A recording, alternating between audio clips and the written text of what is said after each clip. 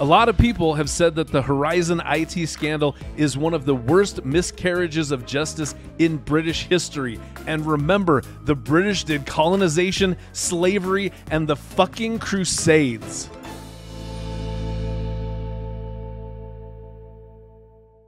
If you'd like to earn CPE credit for listening to this episode, visit earmarkcpe.com. Download the app, take a short quiz, and get your CPE certificate. Continuing education has never been so easy. And now, on to the episode.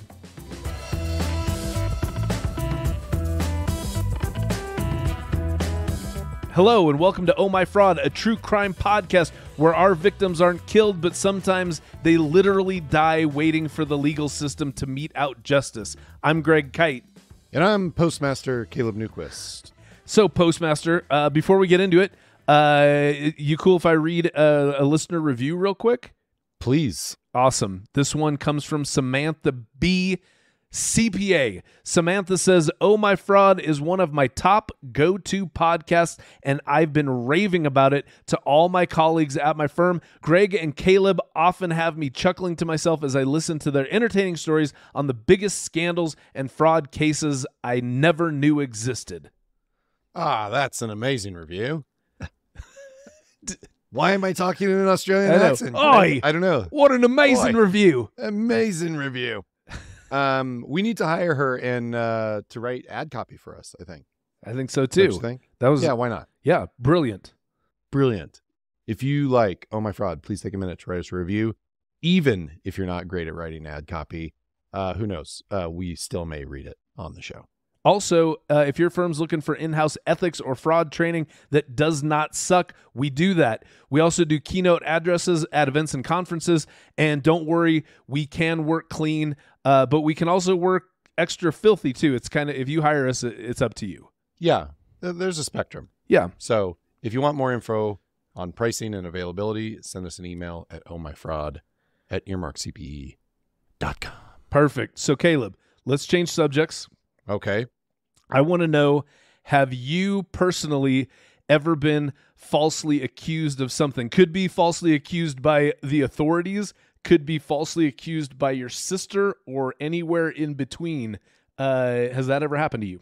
Yeah, I'll I don't know if this really counts or not, but I have a I have a I have a story. Okay. Uh, one one summer I was in college I, and I went to this small house party and some guy was like going around and asking people what year they graduated high school and he Okay. was So wait, so is this is this from a 1980s uh, teen movie? I mean it kind of feels like Yeah. it, except it's it's a it, it's not that old. Okay, Not quite that old. okay, I mean, if it if it had been you, if you'd been telling this story, it would it would have it been, would have been a 1980s teen movie, likely, right? yeah. Yeah, no, but this one was it was 90s and it was me, and so it was it was more you know ironic and and lots more flannel, Okay, good, right? good, Yeah. appropriate. Anyway, yeah, totally. Anyway, so this guy's going around and he's asking people what year they graduated high school, and he was whooping and high fiving people who were uh, class of 98 because he was class of 98. Hell yeah. Yeah. And so he gets to me and asks, Hey, man, you class of 98? And I said, Yeah, I'm class of 98. And he whoops and high fives me so hard that I thought he dislocated my shoulder. Wait, for for real or hyperbole? I mean, hyperbole. Okay. Okay. but he did high five me pretty hard. Anyway, so I go outside with a couple of friends, and, you know, class pride isn't exactly my forte. So I'm, what? yeah, I know. I know. Anyway, so I'm talking a little shit about this class of 98 zealot that we had just encountered because it was weird, right? yeah, that sounds kind of like- weird. It was kind of weird. And so, you know, a few minutes after that, the class of 98 fanatic is like coming straight at me with a head full of steam and he just shoves me right in the chest as hard as I've ever been shoved in Uh-huh. the chest up until that point and maybe ever since.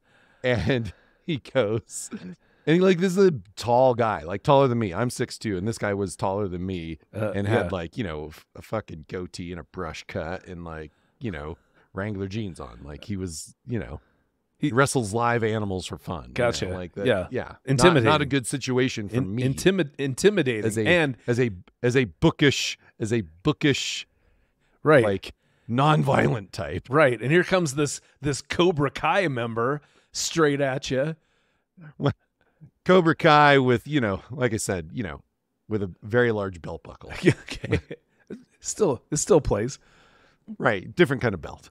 Anyway, he's uh he, he he shows me straight in the chest. He says, "You talking shit about the class of '98?" And he's just shouting that at me, and I'm like, "What?" Because it's the strangest question I've ever heard in my life. Shit about an entire uh group of people that spans the entire world. Are you? Right? Yeah. Huh. And he repeats himself, You talking shit about the class of 98? And I'm like, Why are you accusing me of talking shit about the class of 98? I just high fived you in that fucking kitchen about being in the class of 98. Why would I be talking shit about class of 98? I'm class of 98. And if you haven't picked up on it, this guy wasn't exactly a scholar. So he was a, apparently satisfied by this explanation. And he, he stormed off to crush more beer cans on his head or something. I don't know. But that was the end of it. Nice. And So- uh, so- I- so- I, I got out virtually, mo- you know, unscathed. Yeah. So so so really, you were accused of talking shit about the. You were falsely accused of talking shit Yes. about the class of '98. When what you Yes. really had done was you had really just talked shit about a guy who was excited about the class of '98. So you were Yeah. technically falsely accused. Yeah, technically, Yeah. yes. Okay. Yeah. Yeah. I'll I'll I'll back you up in a court of law. Okay. All right. Cool. I mean, that's that's what I got. That's what I got for the show, Greg. Okay. It's great. I love it. Yeah. okay, Fantastic. cool. That is super relevant because today's episode is all about hundreds of people who were falsely accused of stealing thousands of pounds from the British Post Office.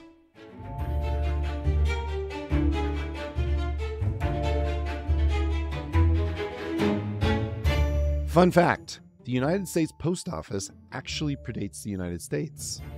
In 1775, the Second Continental Congress officially created the Post Office of the United States. And Article 1, Section 8, Clause 7 of the Constitution of the United States of America gives Congress the power to establish a post office and post roads. Our system is a federal system. It is not, nor has it ever been privatized. It's been attempted. They've tried. They've tried and they've talked about it. And I always feel like th- th- that's a very strange.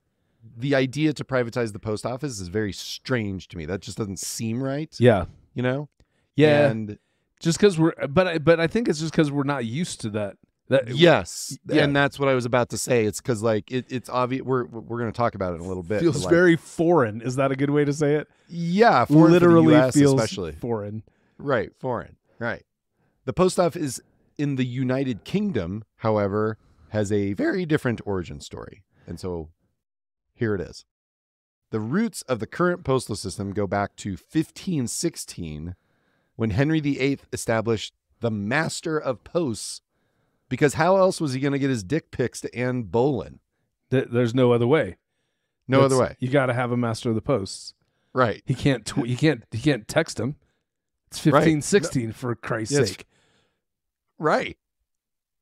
At that point, mail services were only for rich people, but that all changed in 1635 when, according to many sources, King Charles I made it available to all.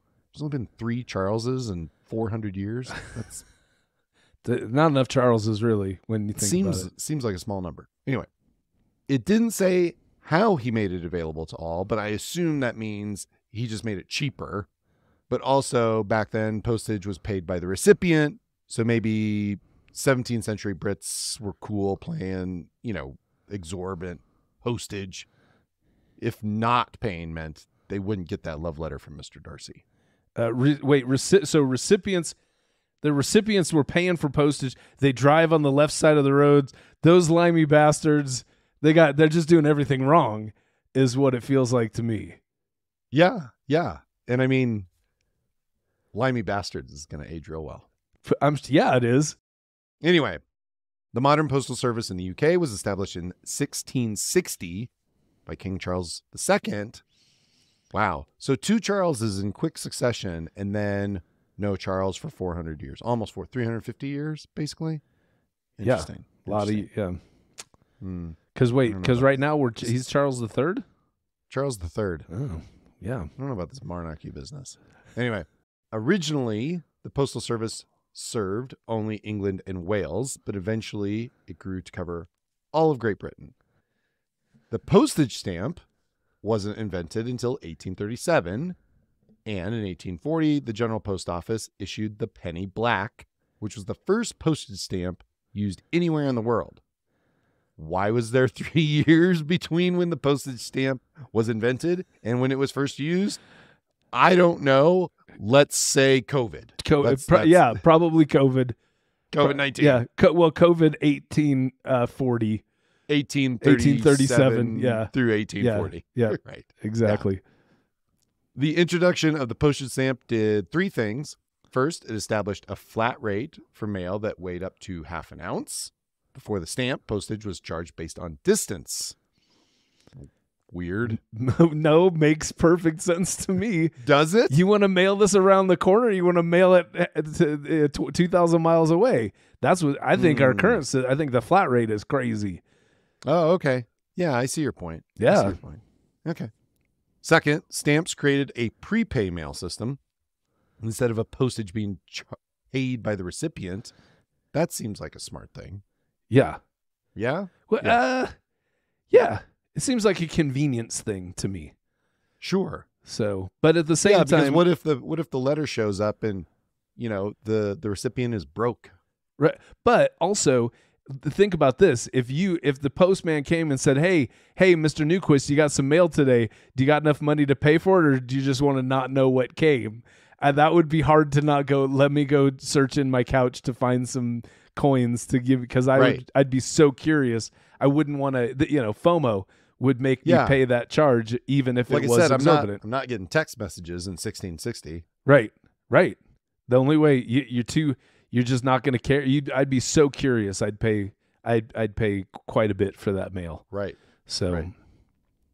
Third, the advent of the postage stamp was the birth of the strange and nerdy hobby of stamp collecting. correct. And fun fact that the penny black, the very first stamp, Uh-huh. Uh, if like a mint condition, actually, what's your guess? Did, or did you see my note? What's your I guess as to what a mint I- condition penny black would, co- would, would, would, what you'd be able to get if you had one? So a stamp uh you know 180 years old 180 190 year old stamp Yeah. mint condition Yeah. Mint condition. Top of the line. top Uh, shelf. 2.2.3 million pounds Nope. Only $3,000. Oh, Doesn't that seem right. ridiculously low? The most valuable stamp low. is is called the British uh, uh, Guiana, the British Guiana. That's it. The British Guiana one cent magenta, which is valued at uh, nine point four million dollars. So if you got that God. first stamp, you're a sucker and a loser. But if you got that British Guiana one cent magenta, you uh, you got a winner. You nerd. You why is that one so nerd. Did you figure out why that one was so valuable Uh, yeah, because I mean, look at the name. It's a oh it's magenta. It's got Guiana in. It's very exotic. yeah magenta i understand Yeah. okay cool a bunch of weird rebranding restructuring and reorganization happened between 1969 and 2011 the details are complex and boring and we lost interest and decided to skip over all that You're wel- But- you're welcome. Yeah. But then huge changes came with the Postal Services Act of 2011. The act allowed up to 90% of royal mail because that is the that is that's what the the what was that the kind of the branding of the, Yeah, the like the- Like Right. the official trade name of the yeah British postal post office. right so the Postal Services Act of 2011 allowed 90% of royal mail to be privatized and it became a publicly traded company in 2013 So weird. Yeah, very weird. And the British government sold the last of its shares in 2015.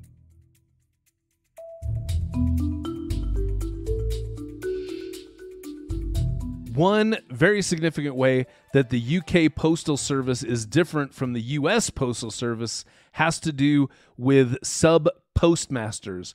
Uh, sub postmasters have been around in the United Kingdom since the 1800s. An article we found in Computer Weekly does a good job summing up what sub postmastering is all about. It says uh, sub postmasters have a contract with the post office to run branches, but they are not employees of the post office. They usually have a retail business that is connected to the post office.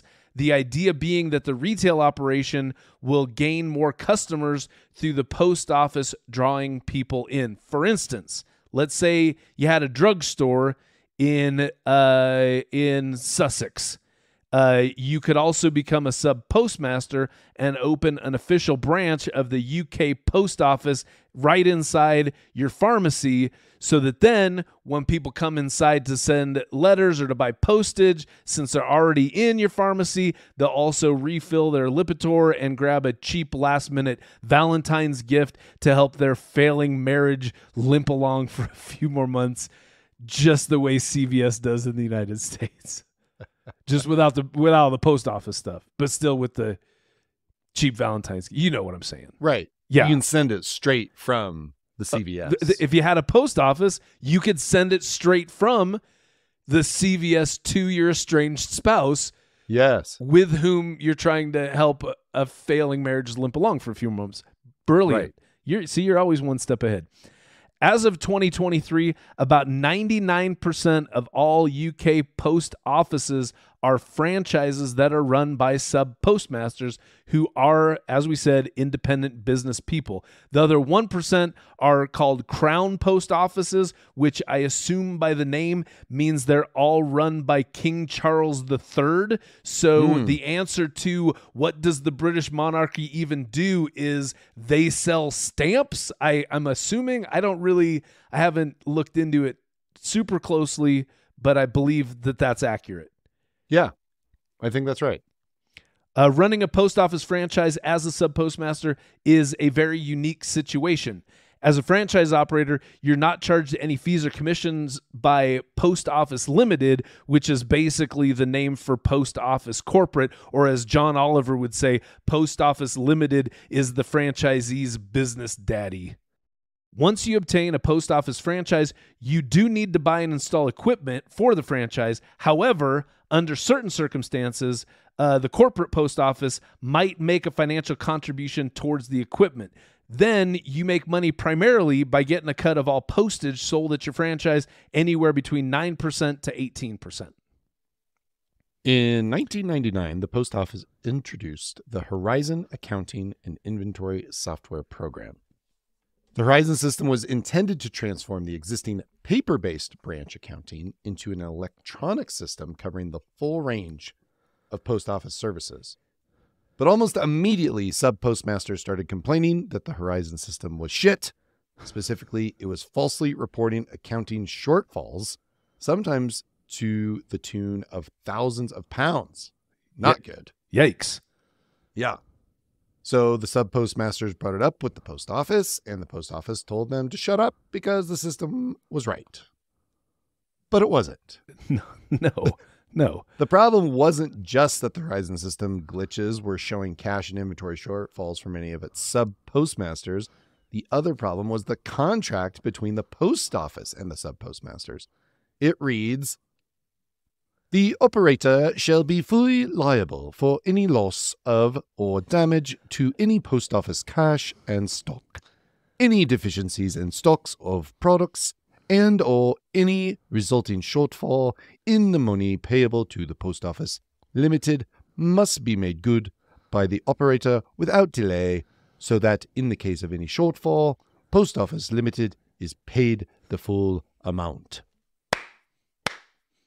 so the accounting system imposed by the post office was showing false deficiencies and shortfalls and the sub postmaster contract required them to pay for any deficiencies and shortfalls out of their own pocket.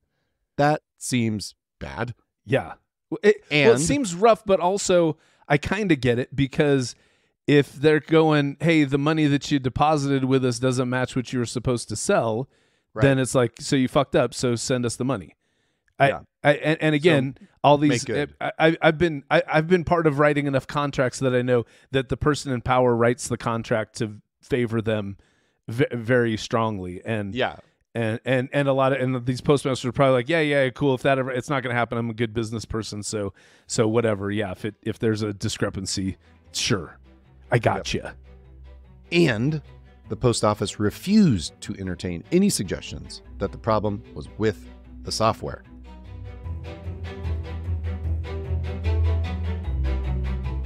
There were some 11,000 sub postmasters in the UK.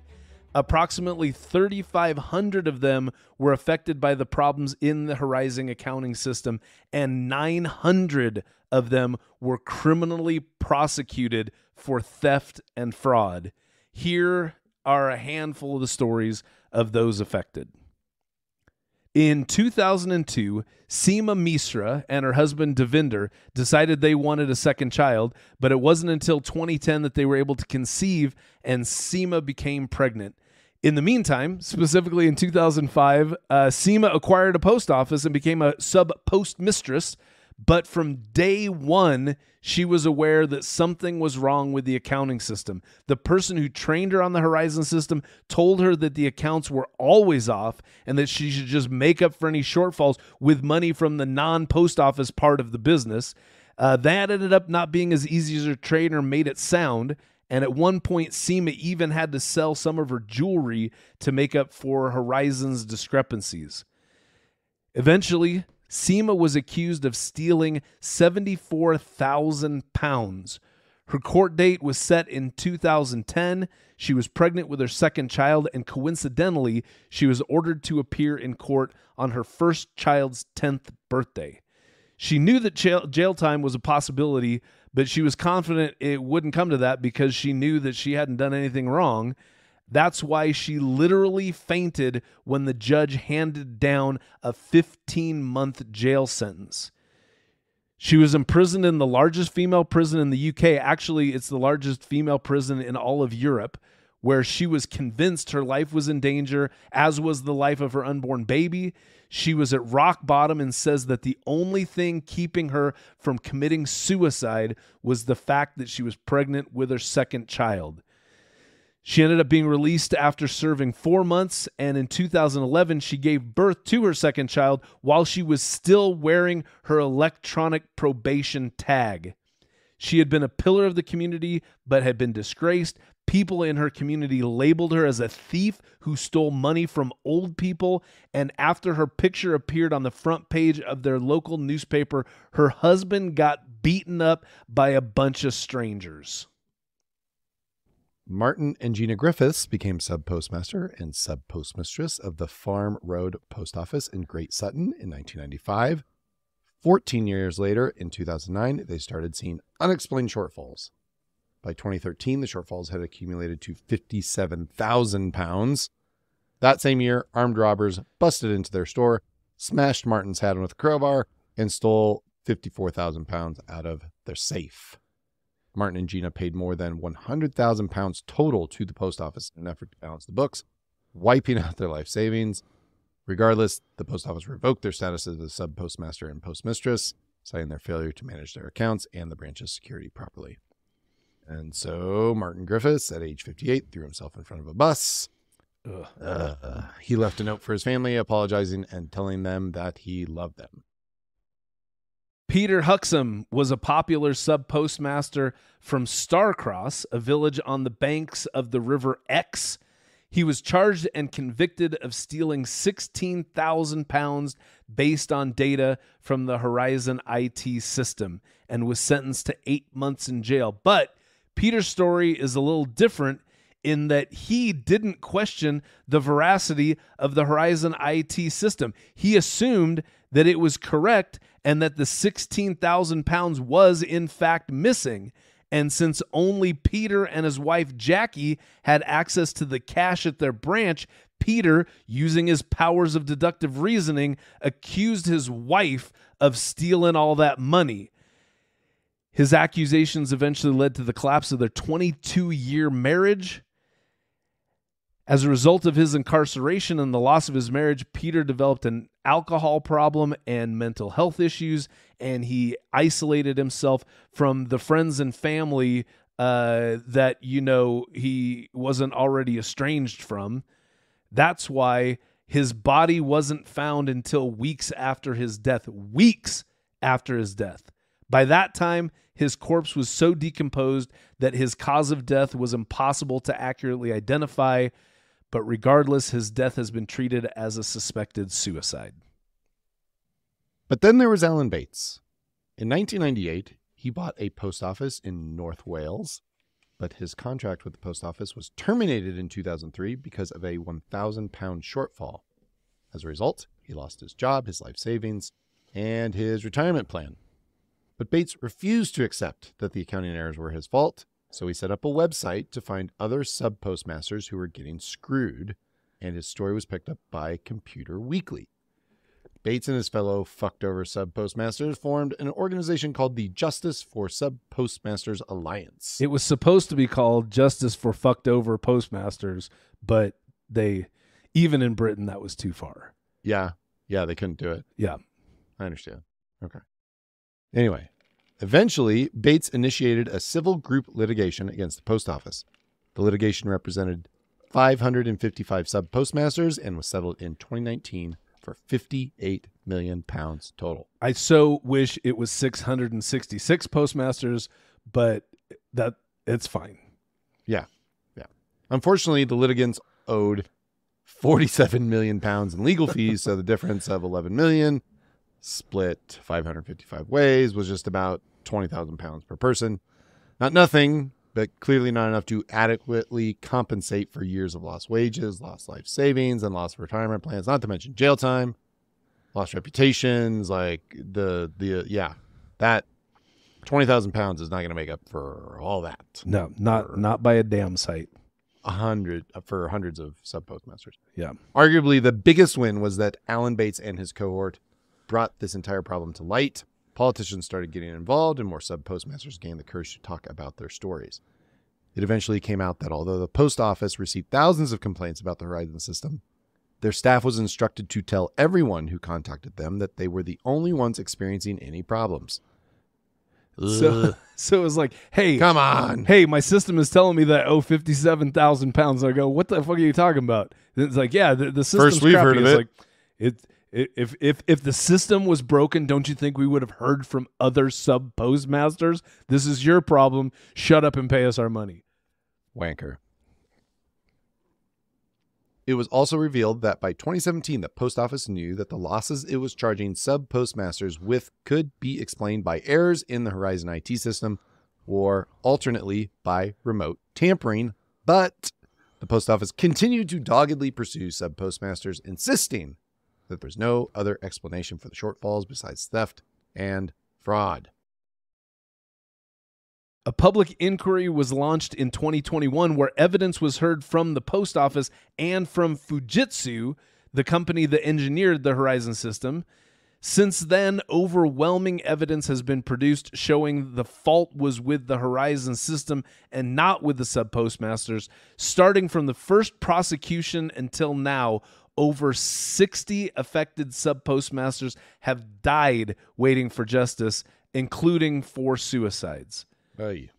As of this recording, only 95% of criminal convictions related to the Horizon IT scandal have been overturned. That means that there's about 45 people still in jail because of glitches in the accounting system implemented by the post office.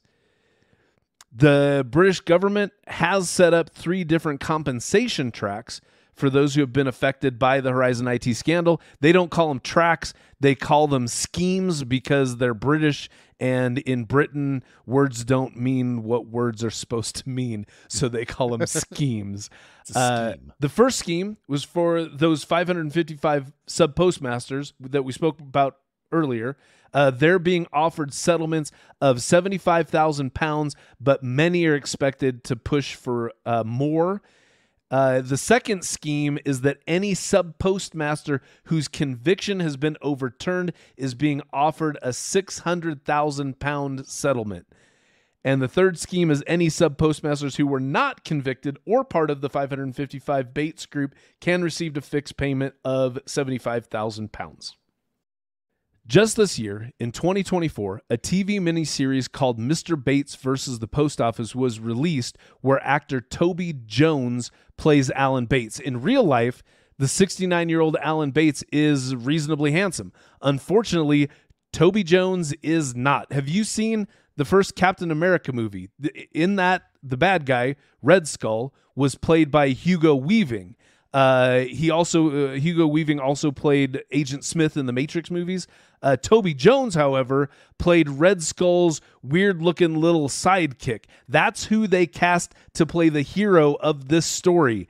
In episode 49 of this podcast, we talked about Frank Tassone, who stole millions of dollars from the Roslyn School District in New York. They made a movie about that and cast Hugh Jackman as Frank Tassone. In this one, they cast Toby Jones as Alan Bates. Oof.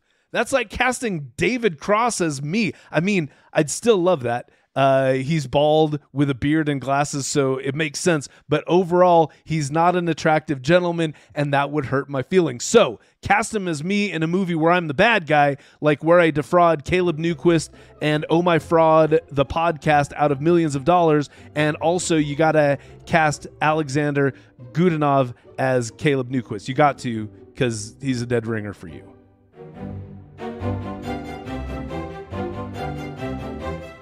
Okay, Greg. Uh, did we learn anything? Uh, I I did learn. I Oh. learned it. I learned at least a couple of things. Okay. Um, so uh, so when we were going through the different uh, anecdotal stories of the different uh, sub postmasters and sub postmistresses who were affected by this, one of them, uh, pr- possibly the most heartbreaking of them, uh, was Peter Huxman from Starcross. Um, he and one of the things he was the one who accused his wife of stealing the sixteen thousand pounds. Um, but uh, in our research, uh, he he wasn't alone. He wasn't the only one who believed that the Horizon system was right and that the money was actually missing. Uh, I found another story about a sub post mistress named Jo Hamilton who also genuinely believed the discrepancies that she was accused of had been caused by her own her own mistakes. So she she on her own volition pleaded guilty to the charges that were brought against her um to, because she was she was offered if she had if she if she pleaded guilty she would just be on probation and wouldn't have to actually serve the jail time. Um but she legit believed that yeah she must have made some some big error and owed and that she legit owed all that money. So the thing the thing that I guess was reinforced by that for me, Caleb, was that numbers plus confidence is extremely convincing. So with the post office, they were like, no, the system is there. The system shows these hard numbers that were shortfalls. You have to pay it to us because the system is right. Don't fuck with our system. You're a bad person. Pay us the fucking money. It's extremely convincing, and and we usually see that in the other way, where people where, where it's the con man, because again, con man stands for confidence man. So so you you're saying, hey, here's these are the right numbers. Believe me, and don't be a dumb shit, and do what I'm saying, or you know, act accordingly. But but like I said, whether you're committing the fraud or being accused of fraud, uh, numbers plus confidence uh, can be very manipulative. Yeah. So uh, there was another Yes. thing. Oh, The- okay. There was yeah. There was another thing uh, that came to mind with this story. Like we said earlier, uh, there were about eleven thousand sub postmasters. Uh, Nine hundred of them were prosecuted as part of the scandal, uh, which is about eight percent of the sub postmasters who Yep. were who were prosecuted uh, for crimes. But uh, but also in, in another account that I that I read, thirty five hundred people were affected by the scandal. That's about thirty percent of the sub postmasters. And and really, that's one of the things. And, and Alan Bates pointed this out. That's one of the main things that made it obvious to anyone like Alan Bates who was paying attention that the problem was with the accounting system and be, because uh, how how does overnight anywhere somewhere between 8% and 30% of all sub postmasters it, Right. turn evil and start stealing money from the post office those those numbers don't make sense Doesn't make any sense. Yeah. a- at Right. all. So so that that was kind of an indicator that like I said that the people were innocent and that there was a problem with the system. But and this might be horrible to say out loud. Uh but think about it. Likely there were some sub postmasters, at least a few, who were actually crooked and were actually stealing money from the post office while this whole scandal was going down. So so if that was the case, they they likely got fined and sentenced and sent to jail, which is great because for those people that was justice, but now those same people who were actually stealing money from the post office and did actually receive justice for crimes they actually committed are now receiving 600,000 pound settlements just because they happened to steal at the exact time that a massive IT problem was also happening. That's like that's like it, it- getting pulled over. This has happened to me a number of times where I've gotten pulled over for speeding. I knew 100% that I was speeding, but then the police officer comes back and like throws my license at me and and and is like, "Hey, you got lucky because I'm getting pulled away on another call." But in this case, he would throw my license at me and also hand me a check for six hundred thousand dollars as he went off to his other his other call. Right. So uh, so basically, the other thing I learned is bad guys. Uh, theoretically, bad guys could get very lucky uh, when the circumstances are in their favor. When karma is asleep, bad guys could get very very lucky. Yeah. Yeah. You have to yeah, sometimes, you know, the the the glitches in the glitches. There's a glitch in a glitch, yeah, but then and then yeah, the bad guys win. yeah, yep. Horrible. Yeah. Terrible. Terrible. Yeah. Um anyway, well, Any British any other yeah. any other thoughts you have about what have I been thinking about? this? This case is weird for our podcast It is weird for our podcast because It- it's about fraud, but it's about fraud. It kind of turns it on its head because yeah, it's a bunch of people that got convicted falsely of fraud. right. It's about a fraud that wasn't there. Right. Yeah. The fraud that wasn't there. Mm-hmm. might be a title. Anyway, yeah, I don't know. I think. Oh, here's something I was thinking about. Let me ask you this: In the research, did you ever get the feeling that these postmasters, the sub postmasters, were kind of deferential, with the with the exception of clearly Mr. Bates and some others? But like, did you get the sense they were deferential to the post office? And so, like, you know, you had the examples of the people who were like, yeah, I must have, gosh, if they say I screwed it up, I must have screwed it up. That to me is there's a there's a certain I think in like maybe British culture, like there's certain deference for authority Okay. and like you know kind of like the bureaucracy and like civil Mm. servant civil service or you know yeah yeah public service those kinds of things the the vibe of that whole thing in the culture of Great Britain is very different than it is in America whereas in America like the trust in like institutions is like and maybe it's just more current but it's just like it feels like trust in institutions like there's more skepticism I think yeah. yeah. you yeah. know and so like if it was a similar thing i don't know you could probably find a similar american scandal to this but i i don't know Hmm. like i i guess the deference given to the post office in this case is something that kind of surprised well not Yeah. surprised me but i think it, it in in some way it um kind of rang true that in in british culture they'd be like oh well you know they they're smart people running you know these these these Right. things and so Right. they're Well, probably right and I wonder maybe that's echoes of like the you know my my very uh incomplete understanding of British history uh you know that they it government was a iron-fisted monarchy at times Yeah, sure. where it's like if the government says it's this way then you need to shut up and agree with that or else things are going to go poorly for you.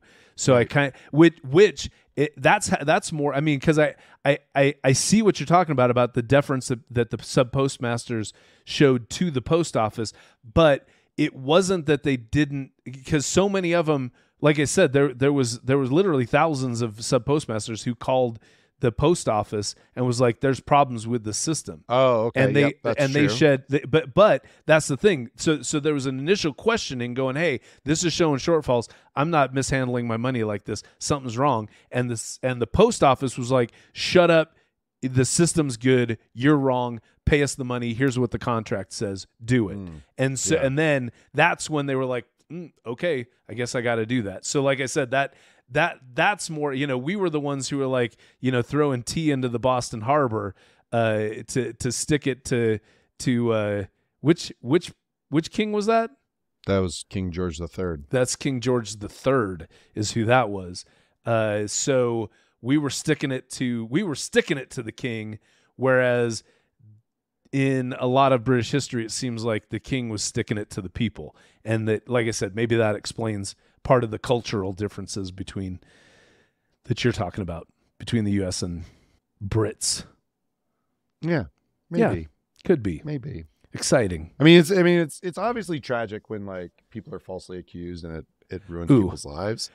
You know, Yeah. it's just like it's fucking it's just gut wrenching. You know, Yeah. about that stuff. yeah well and um, and as an epilogue i mean there now that the, and and it's so funny how this uh this but there's cases still unresolved, right? there's cases still unresolved but this mini series this this pop culture event is Yeah. the thing that's bringing this to everyone's attention and there is outrage uh, in the united kingdom against the government that Right. they have not that that it happened that it happened for so long that the that the post office was so entrenched in its stance that they were you know above reproach with their Yep. system um, and now that it now that it's clear that it's that things are messed up why why why do, why doesn't everybody have all the compensation yesterday for Why the tragedies that have happened Made whole and then some. because you Yeah. can't talk about i mean it, it doesn't take long about talking about people stepping in front of buses and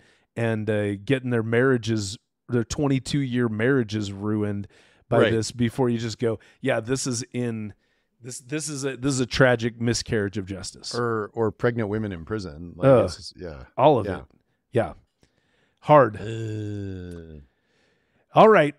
That's it for this episode. Remember, if you're into BDSM and you were having an affair with a woman who was a sub, but you're not having that affair anymore, the person you were having the affair with is technically a sub post mistress.